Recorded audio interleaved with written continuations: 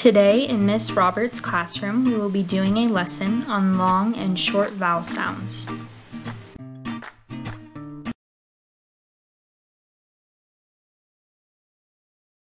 Objective.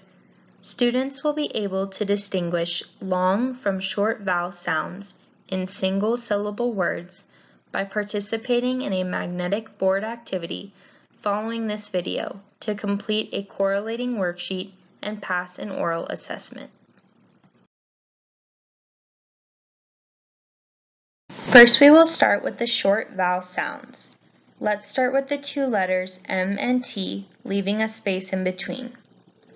Our vowels A, E, I, O, and U will go in this space. Let's start with the letter A.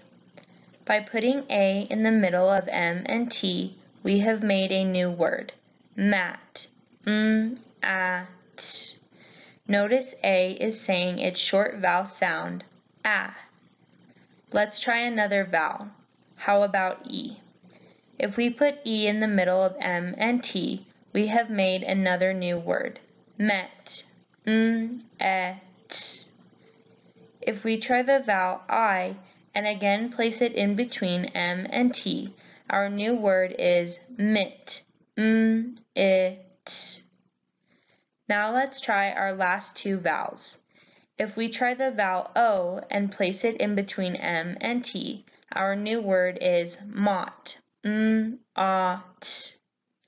We have done the vowels A, E, I, and O. What's left? U.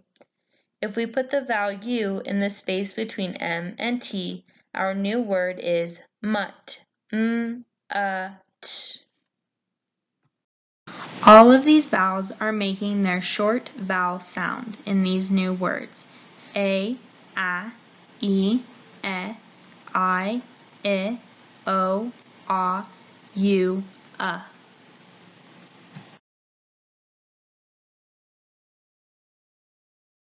Let's look at some objects with names that make the short vowel sounds.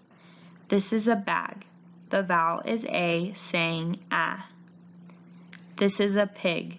The vowel is I, saying I. This is a bat. The vowel is A, saying A. This is a bed. The vowel is E, saying E. This is a rug. The vowel is U, saying A. This is a web. The vowel is E, saying E. This is a mop. The vowel is O, saying Ah.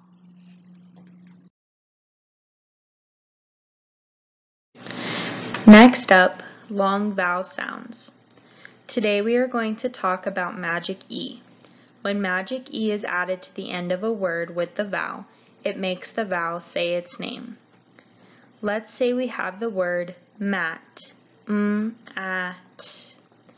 If we add magic E to the end of mat, we now have a new word, mate, and A is saying its name.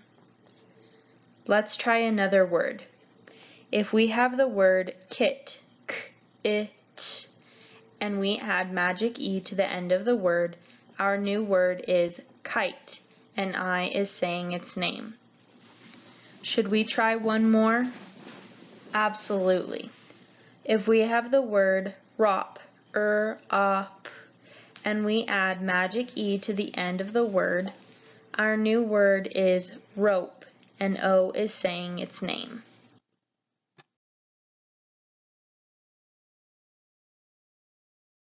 Let's look at some objects with names that make the long vowel sounds. Here is a cake. The vowel is A, saying its name, A. Here are dice. The vowel is I, saying its name, I. This is a wave. The vowel is A, saying its name, A. This is a rope. The vowel is O, saying its name, O. Each of these words has magic E added to the end of it, so the vowels are saying their names. Now that you've learned about long and short vowel sounds and magic E, it's time to go try some on your own.